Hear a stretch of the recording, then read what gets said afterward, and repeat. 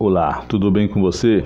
No vídeo de hoje vamos estar comentando alguns, alguns BOs que aconteceu lá no projeto Pai Resgatando Vidas. O Botinho, antes de deixar o projeto, ele disse que ia contar algumas bombas, algumas coisas que ele sabia, ele ia contar em live ao vivo. Mas, afinal de contas, qual era esses segredos que o Botinho ia revelar ao vivo.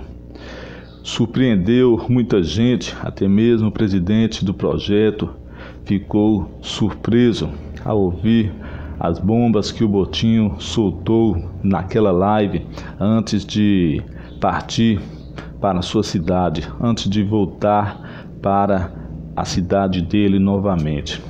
Afinal, qual foi mesmo as bombas que o Botinho disse, já já te explico, mas antes deixa aí o seu comentário, deixa aí a sua opinião. Se inscreva nesse canal. Ative o sininho para receber as nossas notificações. O Botinho disse que tinha algo muito sério para contar, que só ia contar ao chegar na rodoviária antes dele embarcar para sua cidade. Assim o Botinho fez. O Botinho contou ao presidente do projeto sobre Adriana, que Adriana estava tinha se envolvido em, em um relacionamento lá dentro do projeto, algo que é proibido.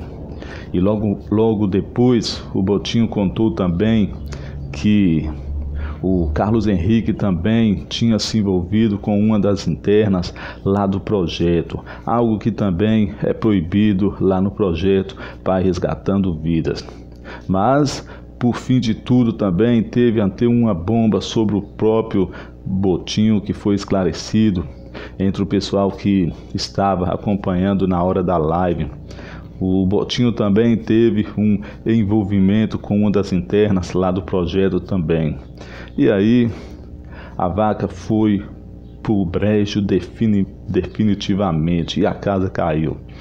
É, qual é a sua qual é a sua opinião sobre a atitude do Botinho? Você acha que o Botinho fez certo, agiu certo de, de, de entregar as pessoas lá do projeto estava descumprindo as regras do projeto? Ou você acha que não, que ele tinha mesmo é que permanecer calado, sem comentário algum sobre os seus amigos lá do projeto? Deixa aí logo abaixo nos comentários a sua opinião. Até mais, fique na paz, fique com Cristo.